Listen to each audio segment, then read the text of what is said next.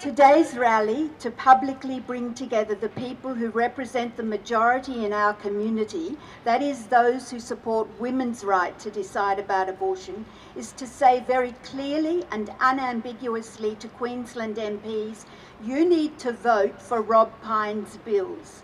Because if you vote them down in a denial of majority community support, you are not fit to be our representatives. And you need to do more than simply vote for the bills. You need to lobby your colleagues across parties to also support these bills. We invited several Queensland MPs to speak at this rally to tell us why they will vote for Rob Pyne's bills. All of them, with the exception of Rob Pyne, either didn't respond or declined the opportunity.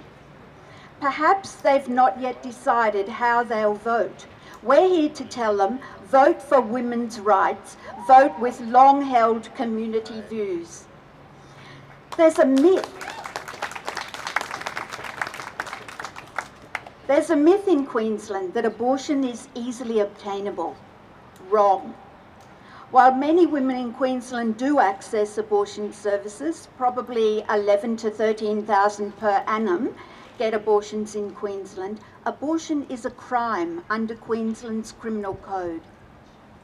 It's only seven years since the Queensland Police charged a young woman and her partner with getting an abortion. Fortunately, the jury that decided that case actually ignored the law and voted for common sense. They found the young couple not guilty. At the time, many people, including the then Queensland Premier, argued initially that the young couple had not been charged with getting an abortion, that they'd been charged with importing an illegal drug. That's not true. I've even seen that claim made in recent months on a feminist Facebook page. The young woman was charged under section 225 of the Criminal Code, 224 actually, and her partner 5 and her partner was charged under section 226.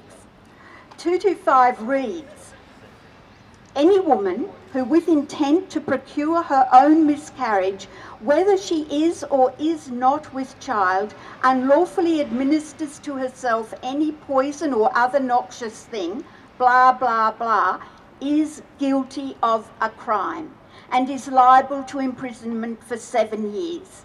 End of quote. That's the law. The Cairns jury that found that young couple not guilty did so despite the law, not because of it. Never again should a woman and her partner or their doctor be charged for getting an abortion. The only way to ensure that is to get abortion out of the criminal code.